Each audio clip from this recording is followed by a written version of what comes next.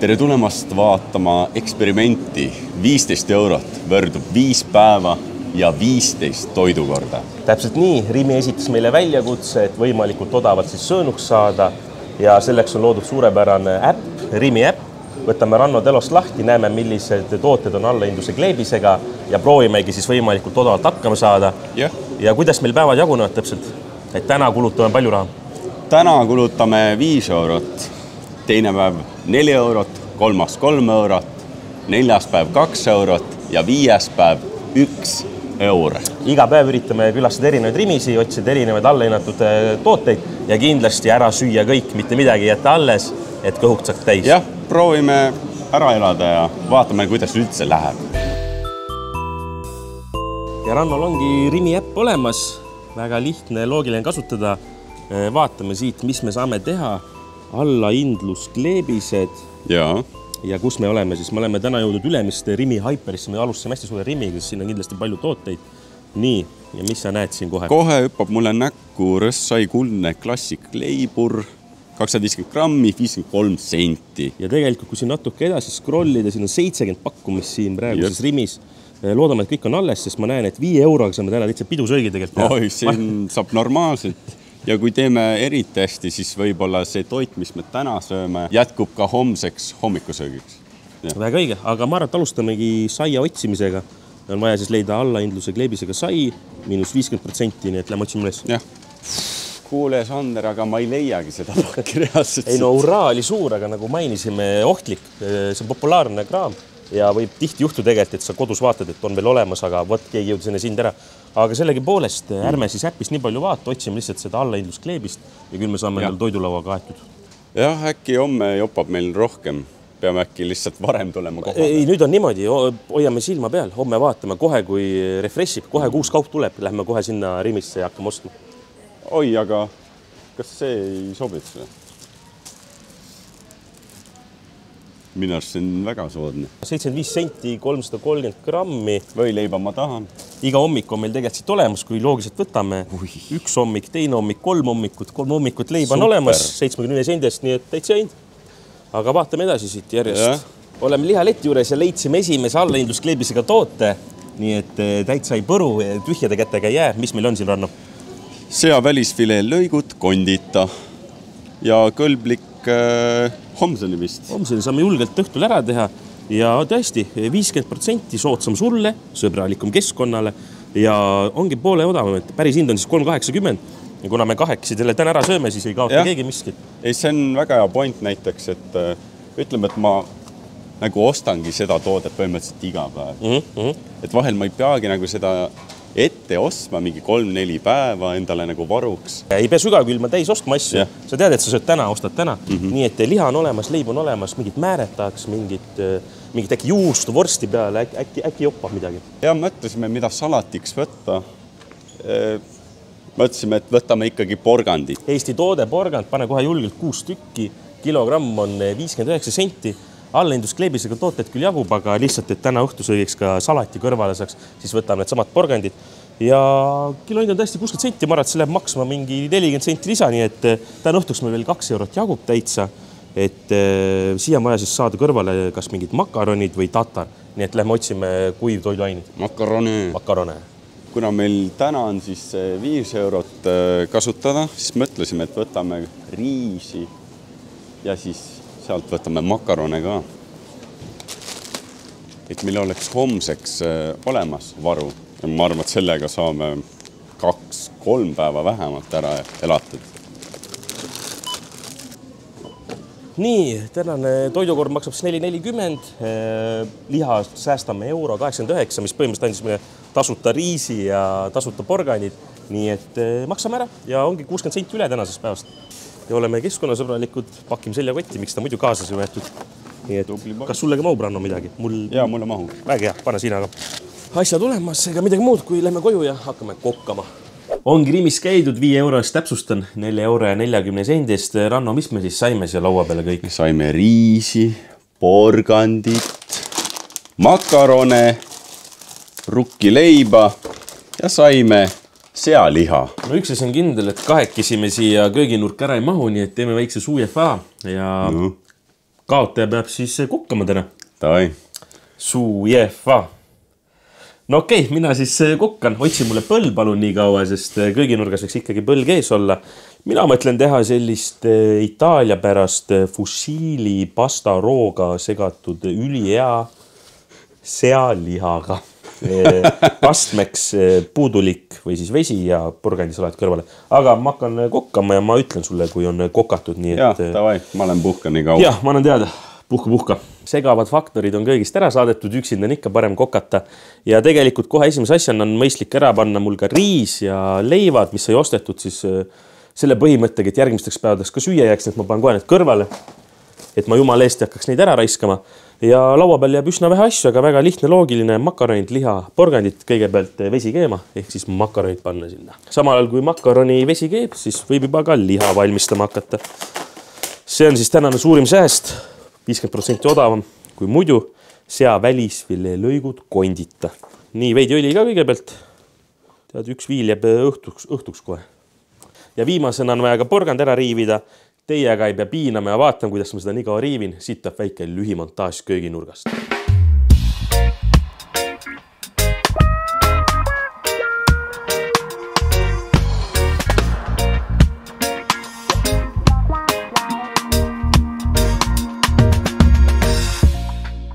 Nii hakkabki minu spetsiaalne siis Sanderi makaroniroog valmima.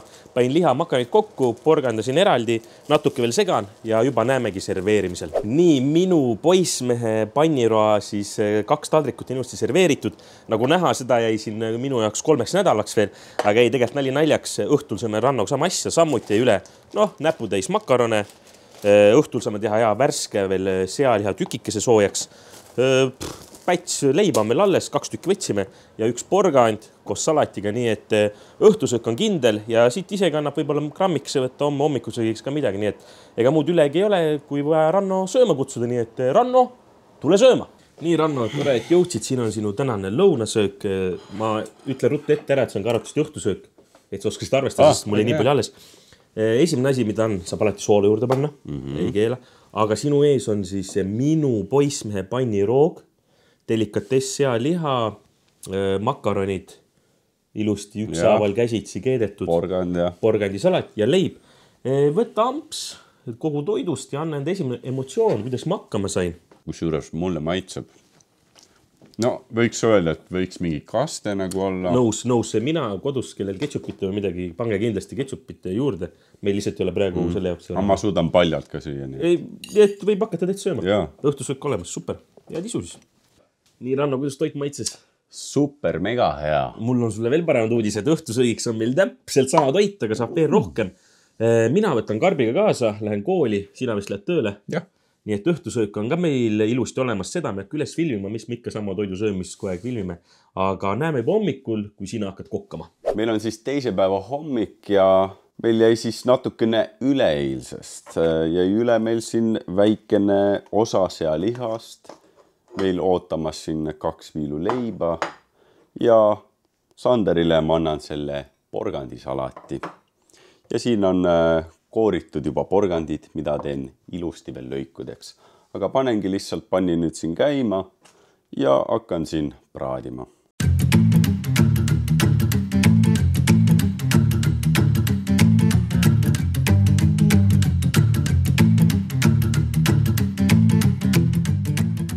nii, mis sa meile siis hommikusöögiks valmistanud oled? eilsest äh, jäid siis ülejäägid äh, üle, nagu ma aru sain ja ma tegin siis meile sellise leiva-pihvi leivasaia võileiva ja lõikasin natukene ka porgandit siin viiludeks, nagu sulle meeldib. sa oled nagu hobune. ja siis sulle veel porgandit, porgandisalat. nii, mis ma esimesena ütlen, sa oled maitsestanud liha paremini kui mina. Väga maitsekas ja leiva vahel sobib suurepäraselt. eilne porgand vaja sisse panna ja lähebki hästi. täitsa mm. maitseb ju. suht palju soola. soola palju. ma ütlesin, et olid julged. hakka juba peas mõtlema, mida me saaks täna nelja euro ja kuuekümne sendi eest. ma arvan, et meil oleks vaja veel näiteks liha. liha jah, liha on väga hea ja meil on endiselt alles ka riis, meil on igast asju mm, -hmm. nii et Rimi äpp välja, vaatame, kas allhinduskleebisega saab midagi head. aga mis elul nii viga, tulen Rannole külla, poiss teeb hommikusöögi valmis. ma võiks niimoodi täitsa elada, tead, ma hakkan sul iga kord külas käima. väike porgandvill kah, cheers. Cheers. Lähme poodi. hommikuseks söödud, hakkame lõunasöögiks ja õhtusöögiks asju ostma ja Ranno leidis meile millise rimi täna. Paerimi Hyper, vaatasin, et siin on üheksakümmend pakkumist ja mõned on suht magusad. ja mina kohe vaatan, et esimene näiteks siin kakskümmend kaheksa senti, küll kohvikoort, me seda me ei osta, aga et juba näha, et siit pakkumisi peaks jaguma. Ja eesmärk nagu eilegi oli tegelikult, et ostame järgmiseks päevaks ka valmis asju nagu hommikusöögi saime eelmise asja eest. ja meil on ju täna lisa kuuskümmend senti, meil jäi Oh, alles, meil jäi alles eilsest, nii et neli eurot kuuskümmend senti ära kulutada allahindluse kleebisega tooted, siit me tuleme ja Rimi äpp viib meid õigesse kohta, Ranno näitas siia kohe kõik soodsam sulle, sõbralikum keskkonnale, kõik tooted viiskümmend protsenti ja ma näen liha, ma näen liha. nii, mina kohe võtan broileri poolkoip, värske A-klass, viissada grammi, miinus viiskümmend protsenti, üks kolmteist läheb loosi. seapeekon kondita piilutatud, üks kaheksakümmend. kanajuustu pihvid, kaheksakümmend senti. me, meie küll seda täna ei osta, aga ma tahan lihtsalt öelda, et saarlase ehtne jõulupraad viiskümmend protsenti odavam on siis üheksa kolmkümmend kuus ja lähed niimoodi siis koju rahulikult häid, häid jõule. väga mugav, et tegelikult, mis siin veel on, lavassi on meil siin, siin on tegelikult veel leiba, meil pole vaja, meil leib olemas. aga et mis mulle meeldib, nagu Ranno välja tõi, eraldi nurk, kus on kõik soodsamad tooted olemas.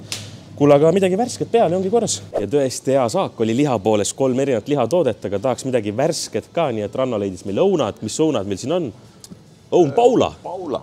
kilo ainult viiskümmend üheksa, nii et meil on alles kaheksakümmend seitse senti. pane julgelt mõlemale kolm näkku, vali ilusamad välja ja saame sellist värsket ka liha kõrvale, aga no mina olen juba õnnelik seda korvi vaadates allahindluse kleebisega kõik siin erinevad kolm lihatoodet, nii kolm õun on olemas, võtame veel siit, aga lähme kassasse, teine päev olemas ja siit paerimist saime me peekonit, me saime sealiha, me saime kanaliha, me saime õuna ja maksma läks neli eurot ja kakskümmend kuus senti. jah, ja nii lihtne oligi, nii et lähme kokkama. kokkama. poes läks meil väga hästi, saime väga palju liha. praegu kama ei ole, kama on koolis. minul ülesanne teha siis lõunasööki. ma mõtlesin, et lõunasöögiks ma teeksin kana, broileri, pool koiba. ahi on juba soe ja kohe panengi need sinna ahju, aga eile sai ostetud ka pakk riisi, nii et panen sellega keema ja näeme siis, kui toit on valmis no nii, riis sai meil siis keedetud ja ma vaatasin, kana on ka valmis.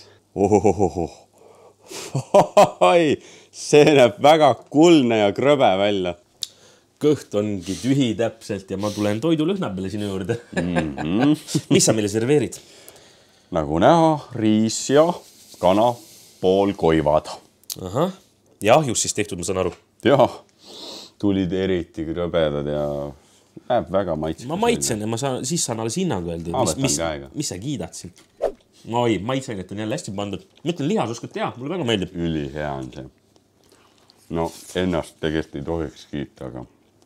riisile, kui ma oleks riisile mingi kastme ostnud, ma oleks pidanud mõtlema, ma oleks mingi kastme riisile osta. selle peale üldse mõelnud jah. aga tead, kuidas ta kuivaks ei jää? võtad kanalt seda nahka natuke ja sööd mm. niimoodi nahaga, see on väga hea, selline kombinatsioon on hea.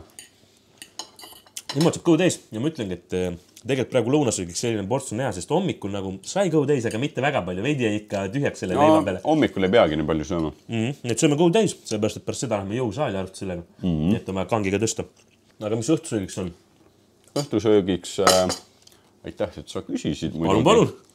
ma tegin tegelikult rohkem riisi, ma tegin kaks pakki mõistlik, mõistlik. ja lisaks veel teeme veel kanajuustupihve ka. nüüd siis õhtusöögiks panen lihtsalt kanajuustupihvid siia pannile. Originaalhind on siin üks kuuskümmend, praegu siis kaheksakümmend senti. lihtsalt viskangi selle pannile ja söön seda koos riisiga. väga loog-, loogiline see söök ei ole, aga noh, me ju töötame sellega, millega meil töötada on siis õhtusöök on tehtud, meil on väga lihtne roog siin, riis, kanapihv juustuga, porgand. võtan siin ühe ampsu. no selline pole minu maitse, pani liiga palju soola. aga jah, Sanderit kahjuks ei ole seekord. nii et siis selle annan ma operaatorile, ta vist tahab seda. super. aga siis sööngi oma plate ära ja kohtume juba homme hommikul, kui Sander teeb meile hommikusööki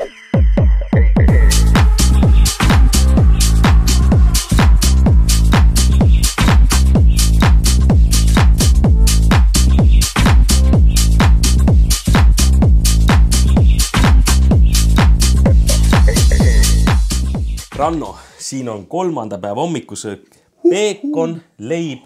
ma vaatasin, et sa jätsid õunu eilsest alles, aga mida sa varastasid, sa võid mult esimese päeva porgandi ära varastada. üks, üks porgand on alles varas, ei ole hullu. lase hea maitsta. kuidas sööd seda? mina soovitan mina soovitan niimoodi, lausa okay. burgerid ja burgerid ja. jõhker burger no jällegi, kui sa tahad, sa võid ju mingit kastet nagu siia vahele mõelda, mõtle, et siin on sinep. no kui sul külmkapis juba on, siis, siis pane see vahele, jah. Anna teada, kuidas peekon välja tuli peekon nagu peekon ikka, ma tunnen rohkem seda leiba siin vahel niimoodi. võta siis pealt ära, tead, kui sa ei taha nii palju leiva, leiva maitset mm -hmm. ja siis see niimoodi. aga üllatus veel sulle, õuna jätsid eilsest alles oh,. Yeah. saad võtta tee peale, kohe ära süüa. just nii. aga meie nüüd lähme poodi, sest on vaja osta kolmanda päeva asjad. sööme ära ja poodi ja olemegi siin Nautica Rimis, tulime vaiksemasse nurka, sest tõesti on palju inimesi siin täna ja nagu nägite, Ranno sai telefonist teha ostupuldi jah, Rimi äpiga on võimalik see ka, et avad äppi, valid telefon ostupuldina, valid, mis poes sa oled. ja me oleme Nauticas. paned alusta ostlemist ja hakkad skaneerima oma tooteid. nii, ja esimene on meil kohe rõstsai allahindluskleebisega. mis hinnaks tuleb? Hinnaks on sellel kuuskümmend kaheksa senti. nii, me oleme tegelikult nüüd põhimõtteliselt mõtle kolm päeva ilma magusat olnud, mõtlesin, võtan üllatuseks meile sellised piparmündi Rimi basic mm. kommid.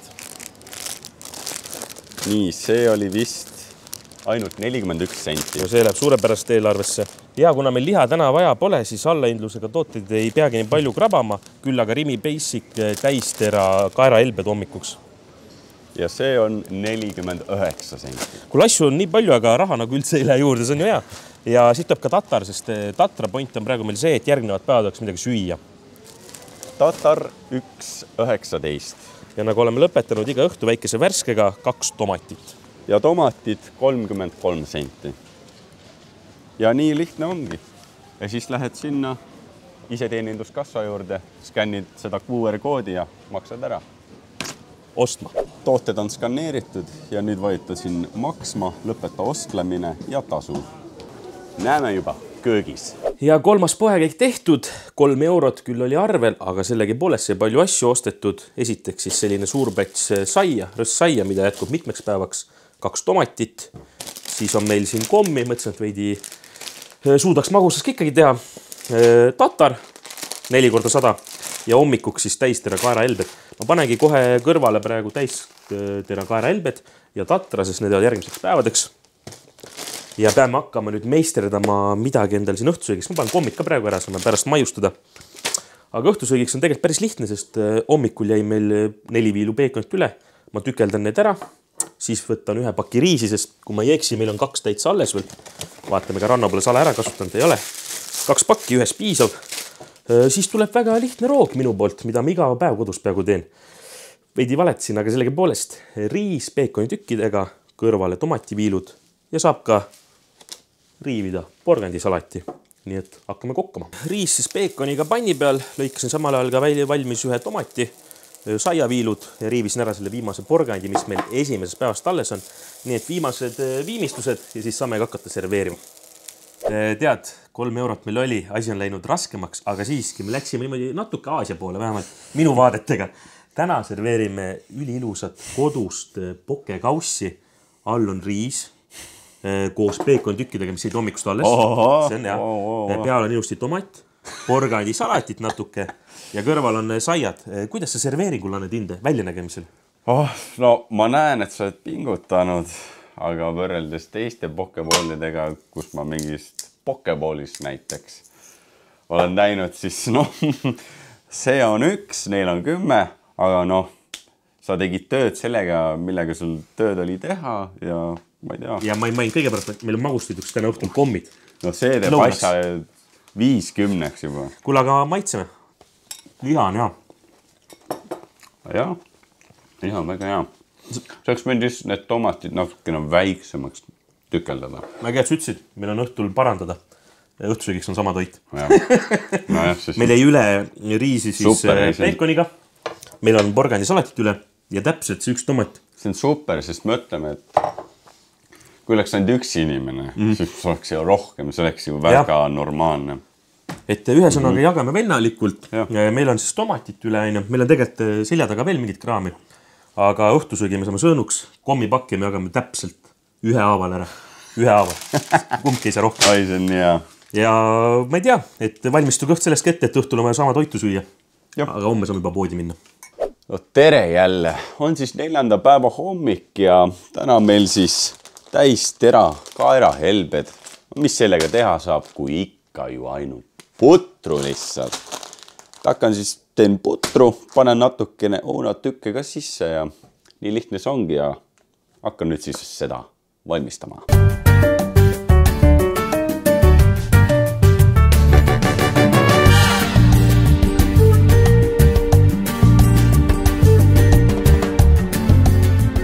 nii, kokapoiss, mis sa siis hommikuks meile pakud? no mina tegin täistera kaerahelbe pudru. kuigi tavaliselt hommikuti ma teen näiteks lihtsalt viis muna. viis muna või? no muna me seekord ei ostnud. jah, et putru ma ei olegi tegelikult teinud. ma julgen maitsta üldse siis või? või sina maitsid? Ma ei tea. ei, aga mina ütlen ausalt, väljanägemine on minust teile inspireeritud ikkagi mm. -hmm. selline kausine. panin siia väiksed õunatükikesed ka sisse. ta näeb täitsa puder välja, ma pean kiitma sind. nii, võtan ka väikse. ei, veega tehtud, täitsa, täitsa puder. Ma tahan öelda, et õun päästab ära Jah.. niisama oleks ta väga kuiv. aga ma ei tea, kas mõne varem üldse niimoodi õunaks, et ma niimoodi viile peal lõikan. aga ta teeb täitsa mahlaseks. ei ta, ma arvan, et said hommikusöögiga hakkama. ja ports on päris suur, korralik ja me ei üle ka veel, ma saan aru. ja, jäi küll. siin saab veel teha, kui vaja.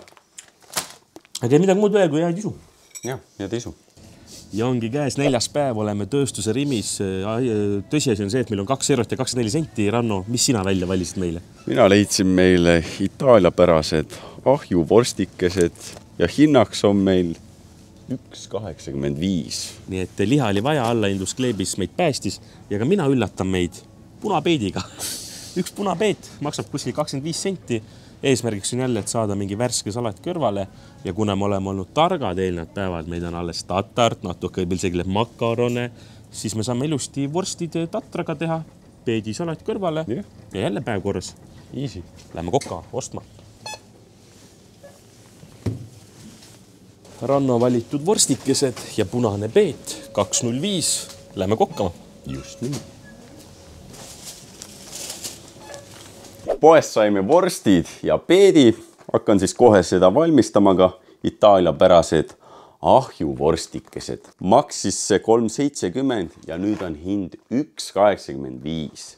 aga õnneks on meil ka eelmisest päevast olemas tatar, mida saame siis praegusel roal kasutada no nii, mis meil on? oi, meil on siit tatar, vorst ja peedisalat. ma ütleks, et selline kas koolilõuna või siis isegi kaitseväes võib-olla selline jah, mõtlesin sama, inspiratsioon on sealt võetud ja, just nii. aga vorstikesi, vorstikesed näevad head välja.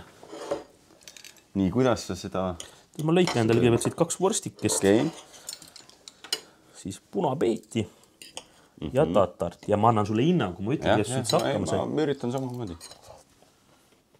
mm,. vorst on väga hea, on nostalgiline jah? on küll nostalgiline, aga täiesti söödav.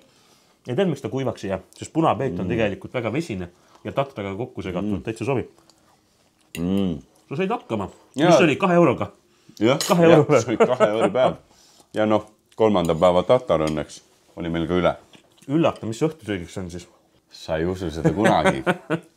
täpselt sama asi. ma saan aru, et vorst jäi üle siis. jaa, õnneks jäi üle. tatart on üle. pakis oli vist kümme vorsti, panin siia kaks, kaks. jah, kuus vorsti on veel õhtuks. ühesõnaga tatar vorstiga ja punapeedisalat jah, sama asi noh, sobib. pole midagi teha noh. head isu. nagu Ranno ütles enne, ega õhtusöögiks midagi uut ja huvitavat pole. küll aga vorstid tükeldasime ära, panime tatra sisse ja ega me uuesti ei hakka seda maitsetesti tegema, ma arvan, et mingit uut maitset välja ei tule. aga täiesti toi söödav toit ja ma arvan, et siin suudame selle kõik ära süüa küll, korralik ports on ikkagi üleval. jah, homme on ju siiski europäev. homme on viimane päev, europäev, nii et eh, sööme selle ära ja siis juba näeme poes. ja ongi viimane päev käes, meil on alles euro ja üheksateist senti ja nagu juba tavaks saanud on, tuleme ikka siia leti äärde, kus on allahindlustega kleebised tooted. nii, ja mis meil siin kõike on viimane päev on esiteks ja euro üheksateist, kuigi ma näen praegu liha, eestimaine broileri rinnafileetükid, kaks nelikümmend, no ei saa osta. mis sa Ranno juba leidsid? seakuljaš üks kakskümmend viis, seda ma oleks tahtnud väga hea meelega. siin on nüüd heeringat, ükski päev pole mina näinud. Atlandi heeringas üheksakümmend viis senti, me saame isegi osta. ma ei tea, kas see kala maitseb või? vahukoor, euro viisteist. me saaks vahukoor osta, jääks neli senti üle ka veel. selle jätame meelde. ma ei tea, vahustame ära ja magustoid. Aga tegelikult nagu juba mainitud on, viimane päev on täna, proovime äkki ikkagi suu magusaks saada. tähistame viimast päeva ja euro üheksateist on vaja ära kulutada niikuinii, nii et tahaks küpsist, kommi, Küpsist? jäätist. no ühesõnaga lihast vist pühime suu puhtaks praegu. ai, seda ei ole meil vaja enam. las liha jääda kellelegi teisele. tulime kohe siia magusa leti ja leidsime Rimi Basic küpsised Classic, mis maksab ainult kolmkümmend viis senti. sellist asja ei ole väga ammu näinud. mis sa seal uurid? kuule, ma vaatan ka ja uurin asju, aga mis sa leidsid meil ühesõnaga? Rimi Classic küpsised, kolmkümmend viis senti. suu on juba maguks saadud, aga meil on veel raha alles, vaatame äkki saame kohukest Oh mina tahaks kohukest. Jah. tahaks midagi veel siin õhtu Väga lõpetuseks. teed ostame hoopis või? ostame küpsise kõrvale teed. ei, samas sul on täiesti õigus. kummeliõie tee, Ei, piparmündi tee. piparmünt sob- sobib väga hästi. tegelikult selline lõpetus, selline lõpp ilusale eksperimendile. nelikümmend üheksa senti. on üleval või? ei ei, see maksab nelikümmend üheksa senti. peame arvutama nüüd korra. ja nagu ütlesin, saime osta siis tee ja küpsised, mõlemad on basic ud, kolmkümmend viis senti, nelikümmend üheksa senti ja tahaks ühte kohukest ka ikkagi päeva lõpuks. siin on kohuk ja küpsiste ja selle, selle tükkidega kolmkümmend seitse senti, meil on alles praegu kolmkümmend viis senti, Ranno, kaks senti jääb puudu. küll aga mul on meeles, et piparmünditee oli nelikümmend üheksa senti, kummelitee oli nelikümmend üks senti no okay. nii et eh, kui me vahetame tee välja, saame ilusa sellise kolmiku trio õhtu lõpetuseks, viimase päeva lõpetuseks. nii et me vahetame tee välja. piparmünditee kohale ja kummelitee asemele kaheksa senti vahe ja enam meil lõhki pole. meil on lausa kuus senti üle, maitsevahe on. maitsevahe on. Lähme raiskame enda euro ära. just. euro kolmteist, kuus senti jääb üle ja ongi lõpupingutus. viis päeva asju ostetud, nüüd on vaja lihtsalt viimane päev need asjad ära süüa Lähme kokkame need asjad ära. Lähme naudime neid viimaseid asju. viimane päev tehtud, viies päev poes käidud. enne kui Ranno tutvustab, mis me ühe eurost saime, siis tegelikult peab mainima, et me saaksid eh, alles jäänud toiduga umbes veel kaks toidukorda vabalt. kuigi arvatavasti on vaja midagi juurde osta poest. Aga sellegipoolest alles jäi siis eh, kaks eh, pätsi leiba, umbes eh, kuus saia. jäi siin hommikupudru jaoks eh, täiskaera helbeid siis jäi, ütleme niimoodi, et kolmkümmend grammi makarone saab kokku panna, saab kokku panna. kaks pakki tatart, see on äh, korralik, tatra kogus ühest pakist oli ikka väga suur. samuti riisipakk, siin saab kahekesi söönuks ühest pakist vabalt. ja kolm kommi tead täitsa. let's go. ja mis me täna siis poest saime? Täna saime siis kummeliteed, ühe kohukese ja Rimi Basic, tavalised küpsised. see on ju täitsa tähistamist väärt. lõika see koogitükk meil siin pooleks ilusti ja olgu olla pool-pool. mida sa No. no. teed? ma ei tea, minu jaoks oli pool noh ah,. ma ei anna sulle teed ma selle eest. valesti oma perspektiivist, come on see on küll mõnitus. tead, ma teen endale sellega niimoodi paremaks, et ma panen küpsise peale oh. hea topelt, topelt, topelt tead mm -hmm.. vot, vot, vaatugi asja ma sain, ma sain täitsa vahukommi siia. küpsise kohupiima purks no viis päeva tehtud siis eh, nii-öelda, et viis eurot, neli eurot, kolm eurot, kaks eurot, üks eurot. on olnud pikk tee. mis sa õppisid, Ranno, üldse sellest? mina, ma ei tea, kas nagu õppisin, aga nagu avastasin, et tegelikult saab ikkagi kuidagi odavalt ikkagi ära elatud. ma ei mõtle nagu odavalt nagu halvas mõttes mm, -hmm. aga on tooteid, mis on tegelikult kvaliteetsed ja madala hinnaga.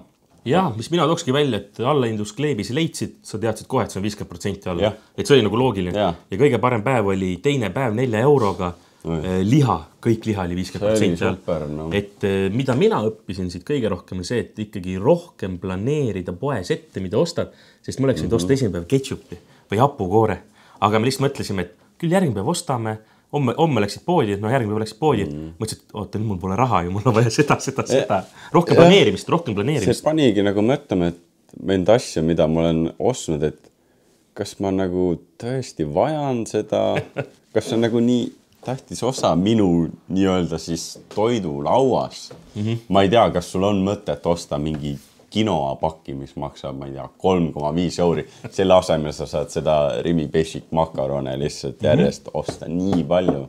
see pani natukene mõtlema, et äh, tuletas meelde, et ma võib-olla ostan liiga palju mõttetuid asju poes ja mida me Rimi äpi kohta õppisime, on see, et hästi lihtne on ostupuldiks teha koha peal. aga teine tähtis asi on see, et allahindlused tulevad iga päev kell kaksteist null null. Eh, kaksteist null null läksime poodi, oli kõige parem lihavalik, sest keegi polnud veel jõudnud võtta mm. -hmm. uuenesid need allahindluskleebised, nii et kes, kes on kasutanud varem ja mõtleb, et miks ta alati ilma jääb kaksteist null null toimub ja. see uuendus, ehk siis ole valmis. ja kui te vaatate ja äpist, et aa, see toode, seda ma tahaksin, aga seda ei leia mm, -hmm. siis järelikult see on juba eest ära võetud. said ilma, sest mm. kus oli leida allahindluskleebisega tooteid, olid põhimõtteliselt, kas nad olid ühte korvi või külmkappi pandud, aga enamasti lihalettides oli parem nurk, paremas nurgas oli ilusti mm -hmm. olemas kleebis. siin on need allahindlusega tooted, et ei olnud väga raske ja, leida tegelikult. ja muidu sai on ikka saialetis, et nad ei ole kuhugi ära peidetud. ja nagu Ranno mainis, Primi Basic asjad on tegelikult väga kvaliteetsed, maitsvad ja saab väga hästi roo, roa kõrvale kindlasti kõik toidud, mis me tegime ka, me pole meisterkokad, üllatus, kuigi ma kandideerisin sinna. miks te ei võta, ei kandideeri, ei kandideeri. palju õnne seal võitjale. et eh, kindlasti meie kokandusoskused ka ei ole kõige paremad, et mõni inimene võis seal nina krimpsutada. me, me õpime, me oleme siiski, mina olen poissmees. me oleme teinud erinevaid asju erinevat moodi lihtsalt. et eh, kindlasti siinkohal ma ütlekski, et kellel kommentaariumis on soovitused, pange Youtube'i kommentaariumisse julgelt a la mina oleks pannud eh, riisitatra kokku, äkki keegi teeb, mina oleks pannud õuna sinna sisse, et kõik retseptid, mis te olete teinud, julgelt jagage soovitusi mm. ja mina ütlen sellised julged laused, et eh, kes tahab proovida kodus, siis proovige ja kirjutage meile reaalselt, kuidas see välja kukkus ja kas te sõite ilusti kõik ära. et minu jaoks eh, kõige raskem oli võib-olla kolmas päev, mulle kuiv toit väga ei maitse, siis meil ei olnud nagu midagi seal kastme sees, mitte kastme sees, vaid mm. toidu sees et aga üllatus. üllatus oli lihtsalt õun selle pudru sees, õun päästis, ma, mina olin väga skeptiline, ma olin väga skeptiline. ja, jah, kas ta oligi puudu näiteks mm -hmm. riisiga, see ja. oli kõige suurem see. see oli kõige suurem meie, meie, meie pahelise mm., ma ei pidanud keskenduma kastmele mingi hetk ega seal ei saanud, seal ei olnud küll kokandam-, kokanduse süü, seal oskustest ei jäänud puudu, seal jäi toorainest puudu. Kui on vähe asju köögis, vähe toorainet, siis nüüd oskad tegelikult täitsa midagi ette kujutada. Jah, ma tegin asju, mida ma ei, ma ei olekski teinud seda. No, taldriku peale kokku poleks iialgi pannud neid asju. Nende kleebiste tegelikult üks mõte on ka see, et äh, me raiskaks vähem toitu. ja tegelikult mul on väga hea jutt ka, sest äh, sa poes mainid seda, et oh, küll oled ette ostnud liha ja värki. kuigi lihtsam oleks see, et sa lähed pärast tööpäeva poodi, vaatad, ops, selle mm. liha tähtaeg on homme sama hästi ma ostan täna ja teen kohe õhtul ära, mitte ei osta külmkappi täis kümneks päevaks liha. eks ma olen, ma, ma võin end süüdi ka või noh, ma olen suht süüdi ka selles, et äh, ma olen ka läinud sinna lihaleti juurde, vaatan oma lemmik hakkliha ja vaatan yeah., et no, ma ei tea, ma ikka nagu ülehomset ei taha ja siis vaatad seal taga on need äh, kauem säilivamad lihapakid. et noh tegelikult ma saaksin võtta need, mis äh, hakkavad varsti realiseeruma mm. -hmm. ehk siis äh, mina õppisin seda ka, et mitte võib-olla nii palju kodus ette planeerid, mida sa süüa teed, vaid sa hakkad alles poes koostama endale taldrikutäit siis. Et sa poes vaatad mm., mis on hea hinnaga ja mida sa tahaks täna süüa. no umbes sa võiksid kõik. ei muidugi, mis, mis mõttega sa lähed. yeah aga liha osas küll, et ma olen, mina olen ka süüdi selles, mul on sügavkülmas äh, mingi kolm pakki hakkliha, mis peaks ammu tehtud olema. nii et äh, selles suhtes väga hea näide, et äh, osta ja tee kohe ära, osta ja, ja tee kohe ära. ja ega siin peabki ütlema, siin oleneb inimese elustiilist, kes teeb ju perele ja, ka süüa, sa pead arvestama perega. meil oli praegu lihtne, kahele noormehele lihtsalt järjest mm. tegime, meil on rannal väga lähedal, lihtne külla tulla, et see ei olnud nagu mingi probleem. aga elustiilist oleneb palju, nii et mm. ma olen tegelikult lugenud siin artiklit tõesti, kus siin kuue lapse, kuueliikmeline perekond sajaga elab ära äh, seal kuid ja et selles suhtes müts maha, siin saab kindlasti odavamalt. aga mina ütleks, et me saime täitsa hästi hakkama ülesandega, mis meile esitati väljakutse on sooritatud, ma ütleks. kui mõni targem inimene on seda videot sattunud vaatama, siis kindlasti ärge kartke kommenteerida, jagage nippe. Näiteks, et kuidas teie olete kahe-kolme euroga hakkama saanud terve nädal. Milliseid odavaid toitaineid olete ostnud ja avastanud, et oi, ma saan teha makaroni ja porgand ja lihaga seda, et lihtsalt tulistage, mida te olete teinud. jah, siin ma ei tea, kas julgeks väita, et kolme kuni viie euriga päevas sa tegelikult saaksid ära elada küll. saad, sest me olime praegu kahekesi ka mõtle tegelikult, meil oli ju, meil oli viisteist eurot kahe peale, seitse viiskümmend siis. Ütleme niimoodi, seitse viiskümmend viie päeva peale, see mm -hmm. oli ikka korralik. ehk siis, mis jälle õpetas see äh, väljakutse, et päris odavalt saab ikkagi nagu söönuks ja minu jaoks on söönuks tegelikult see, et on ja. mingi noh, riis, tatar või makaron ja kõrval on liha. ja see mm. mind üllatas, et liha sai täiesti okeilt osta mm. ja suurtes kogustes, eriti nüüd, kui hinnad on tõusnud. mis, mis su lemmik eh, see hakkliha hinnatõus on, sa mäletad küll, vaat sa oled ostnud? Lemmik hakkliha tõus. või no mis sa ostad ja miks? ma ei tea, näiteks see oleneb tegelikult poest ka mm. -hmm. mõnes poes ma mäletan, et oli kuskil kaks koma seitse need mingi kana. mitte hakkliha, tükid sellised juba tükeldatud mm. -hmm siis lõpuks oli lihtsalt hind neli. et siin hinnatõus on ka hull olnud, et siin kindlasti on erinevaid kogemusi jagada, kuidas keegi on sellele vastavalt no, reageerinud. munad on ka, selle hinnatõus on ikka räige, ma mäletan, alles oli euro kuskil. nüüd on kaks, kolm, neli sellegipoolest, kellel on mingeid nippe või soovitusi üldse, et midagi muud, muud moodi oleks teinud, julgelt jätke tagasi. minge maale ja kasvatage enda toitu ise. ma olen toon ise kord kotiga nii et siitpoolt meile ka väike väljakutse teile, tõmmake ise Rimi äpp, vaadake, kui lihtne leida neid allahindluse kleebisega tooteid. andke teada, kuidas läks ja tänud Rimile. aitäh, Rimi ja aitäh teile vaatamast. olge mõnusad